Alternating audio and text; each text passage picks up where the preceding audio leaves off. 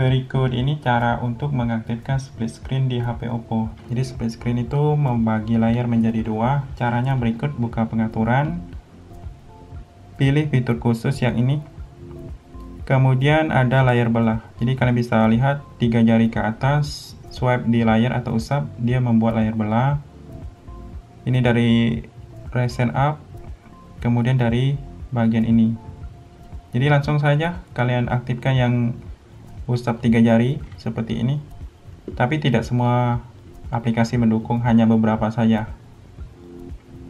Usap tiga jari buka aplikasi selanjutnya seperti ini. Dari sini juga bisa di ikon tiga garis recent up pilih ikon tiga titik layar terpisah seperti ini. Jadi cukup mudah.